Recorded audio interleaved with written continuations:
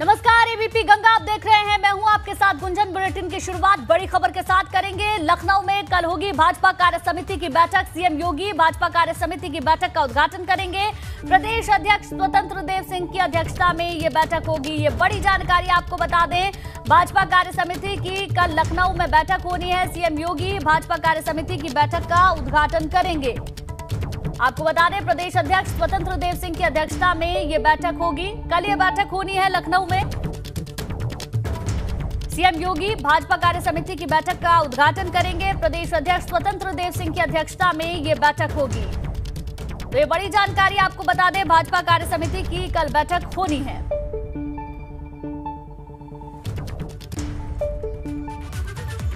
केंद्र में मोदी सरकार के आठ साल पूरे होने पर भाजपा बड़ी तैयारी में जुट गई है। जनता तक सरकार के आठ साल के कामकाज को पहुँचाने की तैयारी का प्लान बनाया गया है। खबर है कि 30 मई से 14 जून तक सेवा सुशासन और गरीब कल्याण के कार्यक्रम किए जाएँगे। बताया जा रहा है इकतीस मई को प्रधानमंत्री मोदी शिमला में सरकारी कार्यक्रम में शामिल होंगे, जहाँ वो प्रधानमंत्री किसान सम्मान निधि के तहत 11 करोड़ किसानों के खाते में अगली किस्त भेजेंगे। इसके अलावा पिछहत्तर मंत्री पिछहत्तर जगह पर कार्यक्रम करेंगे। इतना ही नहीं, देश के पंद्रह मंडलों में भाजपा कार्यक्रम करने की तैयारी में जुटी हुई है। इसके अलावा एक और, दो जून को भाजपा शासित राज्यों के मुख्यमंत्री केंद्र में भाजपा के आठ साल पूरे होने पर उपलब्धियाँ गिनाएँगे और पार्टी के तमाम पदाधिकारी पंद्रह दिनों तक देश भर में कार्यक्रम करेंगे। तो सरकार के आठ साल पूरे होने पर बड़ी तैयारी भारतीय जनता पार्टी की ओर से की जा रही है। घर घर जाकर सरकार के काम को बताया जाएगा।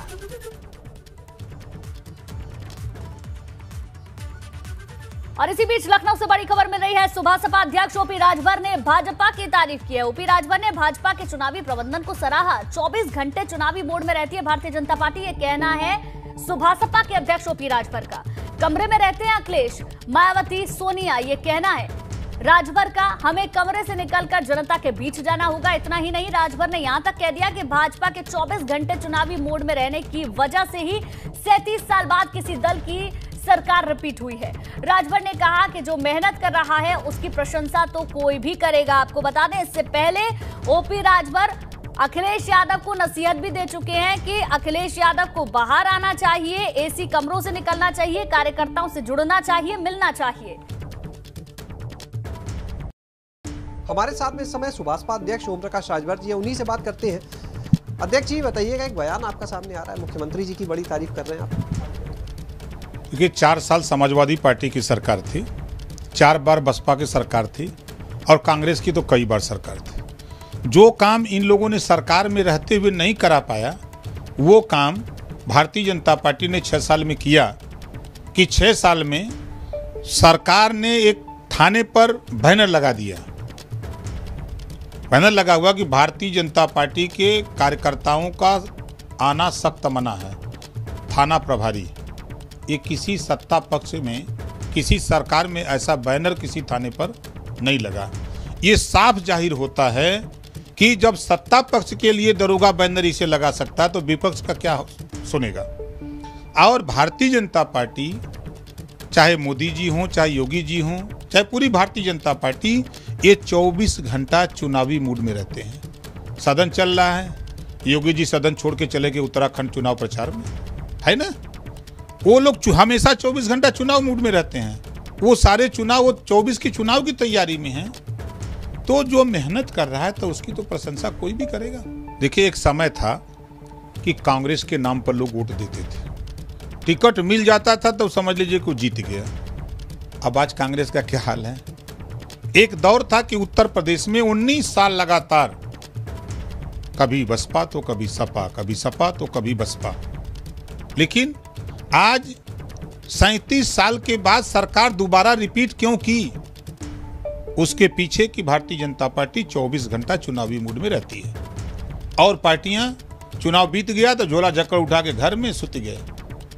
सोने से नहीं होगा। घर से निकलना पड़ेगा, जनता के बीच में जाना पड़ेगा। कैमरा सहयोगी जितेंद्र के साथ शैलेश अरोरा, एबीपी गंगा, लखनऊ। आगे बढ़ते हैं। सहारनपुर के देवबन में जमियत उलेमा हिंद का सम्मेलन चल रहा है। दो दिवसीय सम्मेलन में आज मुसलमानों को लेकर तीन प्रस्ताव पारित किए गए। इसमें इस्लामोफोबिया से लेकर विधि आयोग की दो रिपोर्ट की सिफारिशों पर एक्शन लिया गया, जो तीन प्रस्ताव पास हुए हैं। उसमें साल 2017 में प्रकाशित लॉ कमीशन की दो रिपोर्ट में सिफारिश की गई है कि हिंसा पर उकसाने वालों को सजा दिलाने के लिए अलग कानून बनाया जाए। इस पर तुरंत कदम उठाया जाए। इसके अलावा सभी धर्मों के बीच आपसी सद्भाव का संदेश देने के लिए संयुक्त राष्ट्र की ओर से इस्लामोफोबिया की रोकथाम का अंतर्राष्ट्रीय दिवस हर साल 14 मार्च को मनाने के प्रस्ताव पर भी मोहर लगी। वहीं भारतीय मुसलमानों के लिए न्याय और आधिकारिकता पहल नाम से एक स्थायी विभाग बनाया गया, जिसका मकसद नाइंसाफी को रोकने की रणनीति विकसित करना है। आपको ये भी बता दें, जमियत उलेमा हिंद के कार्यक्रम में 25 राज्यों से लोग पहुँचे थे। इसमें करीब 1500 जमीयत के मेंबर हैं, जबकि कुल मौजूदगी 2000 से ज़्यादा बताई जा रही है।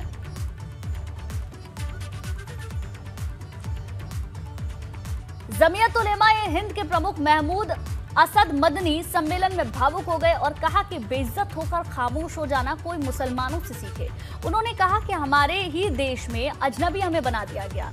महमूद असद मदनी ने अखंड भारत की बात पर भी निशाना साधा। उन्होंने अखंड भारत की बात करते हुए आ, कहा मुसलमानों के लिए आज राह चलना मुश्किल कर दिया है। ये सब्र का इम्तिहान है। मौलाना महमूद मंदी इस वक्त हमारे साथ बातचीत के लिए मौजूद हैं। सर सर, आज आज आप भावुक हो गए थे स्टेज पे। काफ़ी सारी बातें आपने कही। क्या स्थिति ऐसी बन गई है कि आज आपको इस तरीके से बात देखिए पोजीशन ऐसी है कि नफ़रत का बाज़ार गर्म हो गया और लोग एक कौम को, जो इंडिया की सेकेंड लार्जेस्ट पॉपुलेशन है, उसको कटघड़े में खड़ा करके, जलील करके, बेइज्जत करके, रुसवा करके एक ख़ास नेरेटिव बयान चलाया जा रहा है। ऐसी पोजीशन में हमारे लिए ज़रूरी हो जाता है कि हम ये बात कहें कि भाई देश को बचाना है और देश को बचाने के लिए हम सब लोगों को मिल करके काम करना होगा। ये पूरी नाराज़गी सरकार को लेकर झलक रही थी तो क्या ये नाराज़गी जो मौजूदा मुद्दे शिकायत है शिकवा है।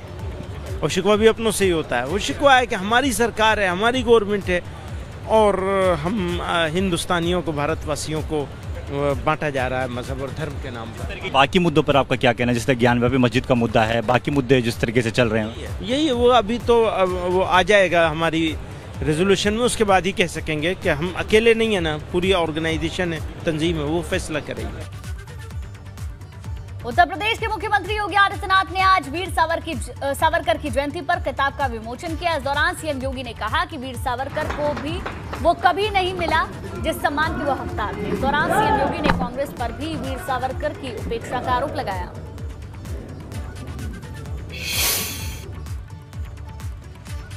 की बात होती है।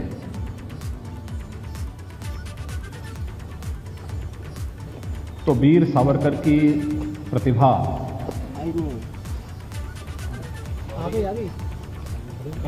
को छुपाने का प्रयास। पहले ब्रिटिशर ने और उसके बाद आज़ादी के तत्काल बाद जिन लोगों के हाथों में सत्ता आई, उन्होंने वह हर संभव प्रयास किया। जब आपने देखा होगा कि सरदेव अटल बिहारी वाजपेयी जी के नेतृत्व की सरकार ने जब पोर्ट विलियर में सेलुलर जेल में एक स्मृति का वीर सावरकर के नाम पर लगाई थी तो उसके बाद आने वाली कांग्रेस नेतृत्व की सरकार ने उसे वहाँ से हटा करके इस राष्ट्र नायक को अपमानित करने का काम किया था। आगे बढ़ते महिलाओं को लेकर यूपी सरकार का बड़ा फैसला। कामकाजी महिलाओं की शिफ्ट को लेकर अधिसूचना जारी की गई है। महिला कर्मचारी की सहमति के बिना शाम सात बजे के बाद ड्यूटी नहीं लगा सकते हैं। सरकारी और प्राइवेट सेक्टर दोनों पर यह नियम लागू होगा। अगर ड्यूटी लगानी हो तो महिला कर्मचारी से लिखित सहमति लेना ज़रूरी होगा। ये बड़ी खबर आपको बता दें, जहाँ महिलाओं को लेकर यूपी सरकार ने यह बड़ा फैसला लिया है। कामकाजी महिलाओं की ड्यूटी शाम सात बजे के बाद उनकी मर्ज़ी से ही लगाई जा सकती है। आपको बता दें, महिला कर्मचारी की सहमति के बिना शाम सात बजे के बाद ड्यूटी नहीं लगाई जा सकती। सरकारी और प्राइवेट सेक्टर दोनों पर ही नियम लागू होगा। अगर ड्यूटी लगानी है तो महिला कर्मचारी से लिखित सहमति लेना ज़रूरी होगा। ये बड़ी जानकारी आपको दे दें। बड़ा फैसला यूपी सरकार की ओर से लिया गया है, जिसमें महिला सुरक्षा को ध्यान में रखते हुए महिलाओं के हितों को ध्यान में रखते हुए ये बड़ा फैसला सरकार ने लिया है। कामकाजी महिलाओं की शिफ्ट को लेकर अधिसूचना जारी की गई है। आगे बढ़ते हैं। यूपी विधानसभा के बजट सत्र में सत्ता, पक्ष और विपक्ष के बीच तकरार जारी है। सरकार पर अखिलेश यादव के हमलों से सियासत गर्मा गई है। लेकिन अखिलेश के समाजवाद प्रहार से घमासान शुरू हो गया है। आज अखिलेश यादव ने भाजपा पर बारी बारी कई हमले बोले। उन्होंने भाजपा पर कई बड़े आरोप लगाए और यूपी के बजट को आंकड़ों का खेल करार दिया। इतना ही नहीं, अखिलेश यादव ने भाजपा के लोगों को डेमोक्रेसी, सोशलिज्म सेकुलरिज्म दोबारा पढ़ने की नसीहत देते हुए समाजवाद पर संग्राम छेड़ दिया है। सरकार किस तरीके से आंकड़ों से खेल रही है? ये आंकड़े समझा कर के बता रही विकास हो जाएगा। अरे, आंकड़ों से विकास थोड़ी होता है। ज़मीन पर चीज़ें उतरे तब विकास होता है। बहस इस बात की नहीं है कि किस विचारधारा के बारे में मैं जानता हूँ कि नहीं जानता हूँ। कल अगर आपने ध्यान दिया हो तो नेता सदन समाजवादी पेंशन को समाजवादी पार्टी की पेंशन समझ रहे थे। तो अभी तो बीजेपी को जो हमारे संविधान में, प्रेम्बल में लिखा हुआ है समाजवाद सेकुलर वो क्या है? अभी उसी को समझना है, क्योंकि सवाल केवल इस बात का नहीं है कि प्रदेश को बचाना है। इससे बड़ी लड़ाई है इस बार। लोकतंत्र बचे, समाजवाद बचे और सेकुलरिज्म बचे। तो ये तीन बड़े सवाल हैं जिसका जवाब बीजेपी के पास नहीं है। डेमोक्रेसी सोशलिज्म सेकुलरिज्म बीजेपी के लोगों को दोबारा पढ़ना चाहिए और अगली बार जब मैं सदन में आऊँगा जो जो लोग समाजवाद नहीं समझ पा रहे हैं, उनके लिए किताब ज़रूर लाऊँगा एक। वहीं सदन से उठे समाजवाद को लेकर अब संग्राम शुरू हो चुका है। अखिलेश ने समाजवाद को समझाने की बात कही तो सत्ता पक्ष ने पलटवारों की बौछार कर दी। हाँ निश्चित तौर से इसलिए अखिलेश यादव जी को पढ़ना चाहिए कि भगवान ये डॉक्टर राम मनोहर लोहिया जी ने कहा, क्या कहा था? भगवान श्री राम के बारे में क्या कहा था? भगवान श्री कृष्ण के बारे में क्या कहा था? भगवान श्री शंकर जी के बारे में क्या कहा था? अगर एक लाइन ही पढ़ लेंगे तो उनको फिर समझाने की ज़रूरत नहीं पड़ेगी। तो ये लोहिया का समाजवाद नहीं वो अपना समाजवाद पढ़ाएँगे। लोहिया के समाजवाद में सबके लिए बराबरी का हक था। ये लूटने में बराबरी का हक देने वाली वर्तमान समाजवादी पार्टी है। यूपी विधान परिषद की करेंगे। आज यूपी विधान परिषद में कार्यवाही के दौरान सभापति ने सख्त अल्टीमेटम दिया। दरअसल, कांग्रेस एमएलसी दीपक सिंह की शिकायत के बाद विधान परिषद सभापति मनवेंद्र सिंह ने सख्ती बरती और नेता सदन समेत सरकार को लापरवाह अफसरों पर कार्रवाई के लिए कहा। तय वक्त में प्रश्नों का जवाब न मिलने पर उन्होंने विधान परिषद के अधिकारों को भी याद दिला दिया। प्रश्न सदन और सदस्यों के द्वारा किए जा रहे संसदीय कार्यों में विलंब का है। इसलिए माननीय नेता सदन और सभी विभागों के मंत्रीगण प्रत्येक दशा में, निर्धारित समय में प्रश्नों और सूचनाओं के उत्तर सदन में और माननीय सदस्यों को देना सुनिश्चित करें। अन्यथा सदन के पास अपने अधिकार हैं और सदन अपने अधिकारों का प्रयोग करेगा।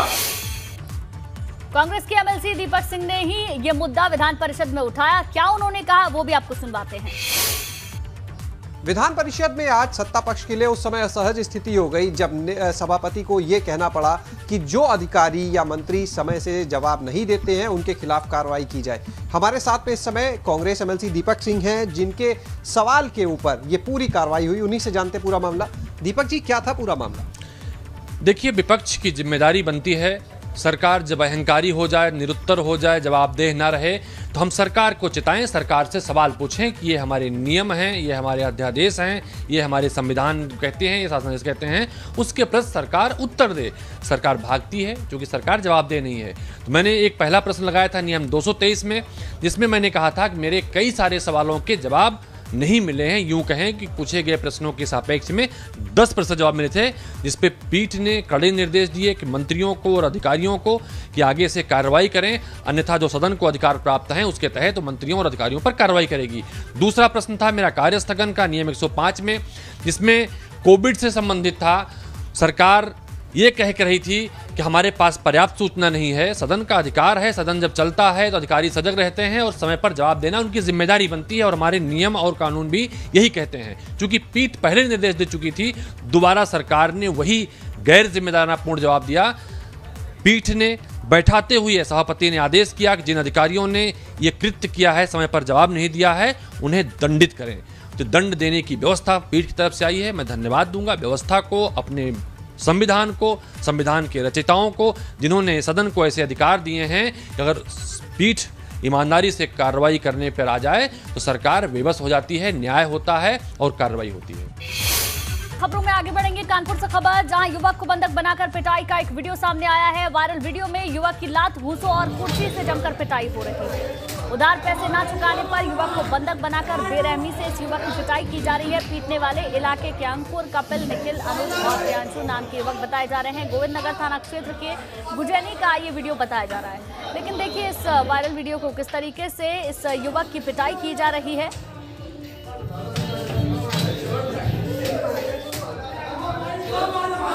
और अब ये वीडियो वायरल भी हो रहा है। उधार पैसों का मामला है। उधार पैसे ना चुकाने के बाद युवक की इस तरीके से पिटाई की जा रही है?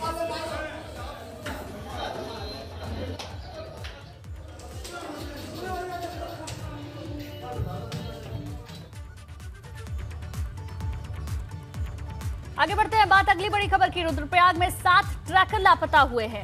मदमहेश्वर पांडव शेरा ट्रैक पर सात ट्रैकर बताए जा रहे हैं, जो लापता है। एसडीआरएफ की टीम सर्च ऑपरेशन के लिए रवाना हो चुकी है। तो ये बड़ी खबर आपको बता दें, रुद्रप्रयाग में सात ट्रैकर लापता बताए जा रहे हैं।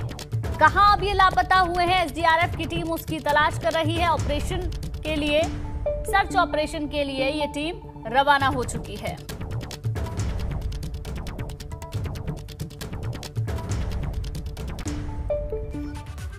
आगे बढ़ते अगली खबर भी रुद्रप्रयाग से, जहाँ केदारनाथ धाम में चार और यात्रियों की मौत का मामला सामने आया। केदारनाथ की यात्रा पर आए चार यात्रियों की जान जा चुकी है। केदारनाथ यात्रा पर अब तक 48 लोगों की मौत हो चुकी है। आपको बता दें, चार धाम यात्रा को शुरू हुए 25 दिन का समय हुआ है और 25 दिन के अंदर ही कुल मिलाकर निन्यानवे यात्रियों की जान जा चुकी है, जिसमें कि सबसे ज़्यादा जान केदारनाथ यात्रा के दौरान ही यात्रियों की गई है। अड़तालीस यात्री बताए जा रहे हैं जिनकी मौत हो चुकी है।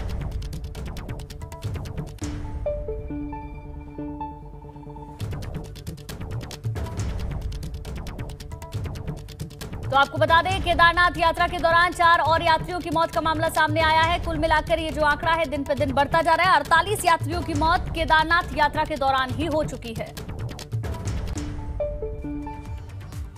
वही अल्मोड़ा में पेयजल संकट बना हुआ है। दरअसल पेयजल लाइनों से गंदा पानी आ रहा है, जो पीने के लायक नहीं है। रेलापाली वार्ड में बीते देर रात तक पानी के लिए लोगों की भीड़ लग गई। दूर दराज के क्षेत्रों से अल्मोड़ा में पढ़ाई करने आए छात्र छात्राओं का कहना है कि नलों में साफ़ पानी नहीं आ रहा है जिससे वो परेशान है। तो पीने के पानी के लिए लोगों की कतारें लगी हुई हैं। तस्वीरें भी आपको दिखा रहे हैं। गंदे पानी की सप्लाई हो रही है जिसकी वजह से लोगों को परेशानी उठानी पड़ रही है।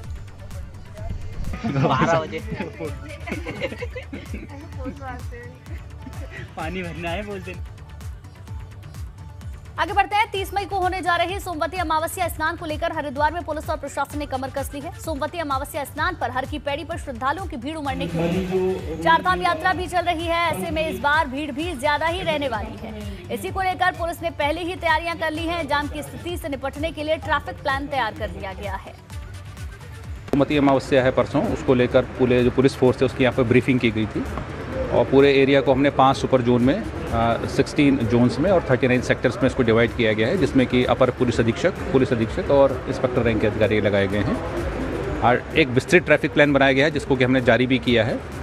जो मोटा मोटा उसका अगर हम सिद्धांत माने तो यह है कि जिन लोगों को स्नान के लिए नहीं आना है या जिनको अन्य स्थानों पर जाना है, उनको शहर के अंदर प्रवेश अनावश्यक ना करें वो, या जो हाईवे है उससे निकल जाए। आगे बढ़ते रामनगर में अवैध खनन की शिकायतों पर तराई पश्चिम वन प्रभाग ने बड़ी कार्रवाई की है। डीएफओ ने वन कर्मियों की चार टीमें गठित कर दी हैं। ये टीमें अलग अलग क्षेत्रों से अवैध खनन के मामले पर कार्रवाई कर रही हैं। इस दौरान 10 डंपरों को भी पकड़ा गया। सभी डंपरों को सीज कर जुर्माना लगाने की कार्रवाई की गई है। तो अवैध खनन के मामले में शिकायत पर यह कार्रवाई हुई है। अवैध खनन की शिकायत लगातार मिल रही थी और इस पूरे मामले का संज्ञान लेते हुए 10 डंपर को सील कर दिया गया है।